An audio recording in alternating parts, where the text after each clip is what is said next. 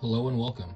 Today we're going to discuss the eMic and replacement of the adjustment band and also how to adjust the headset for a tighter or a looser head size fit.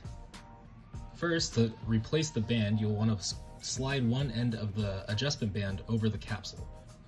Get it down to both ear loops and slide down to the bottom.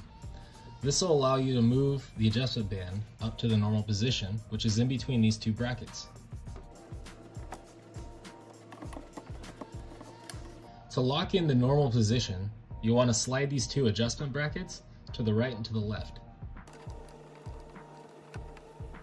For a tighter fit, you'll want to actually move this adjustment band down over the ear loops. And what you want to do first is move the adjustment brackets back to the middle and then move the loosened band over the ear loops. Once you've completed this, to lock in this position, slide these adjustment brackets to each corner.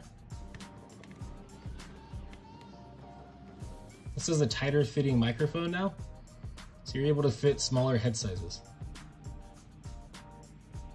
For larger head sizes, what you want to do first is move these adjustment brackets back to the middle. Move the band back to its normal position. And then to fully release the tension, slide it over this bracket. This will allow you to fit larger head sizes and have no tension from the band, creating many different fittings for many different head sizes. Remember to always use a windscreen when the microphone's in use.